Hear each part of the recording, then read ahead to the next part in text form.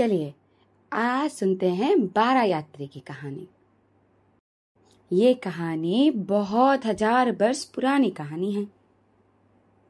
आठ घोड़े वाले एक बंद गाड़ी एक अनजान शहर में आकर रुक गई। रात के बारह बजने वाले थे और बाहर बहुत ठंड थी। गाड़ी के सारथी ने अंदर बैठे यात्रियों से कहा, आपकी मंजिल आ गई। अब आप लोग उतर जाइए। उसने गाड़ी का दरवाज़ा खोल दिया। उसने गिना, एक, दो, तीन, चार, पाँच छ सात, आठ, नौ, दस, ग्यारह, बारह। पूरे बारह यात्री थे अंदर।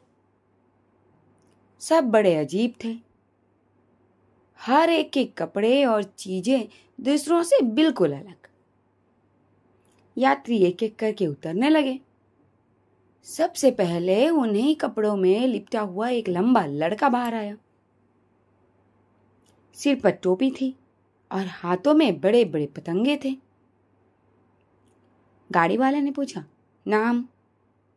लड़का बोला, जन।